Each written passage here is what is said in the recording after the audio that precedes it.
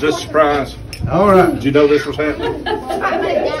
You got your radio? You got your baton? What else? Oh, got a flashlight. Look, I go like this and going point that I way. don't think I got a flashlight. Not. Look, you can move it. Yeah, oh, it swivels. That's super cool. All right, you ready to go get some breakfast?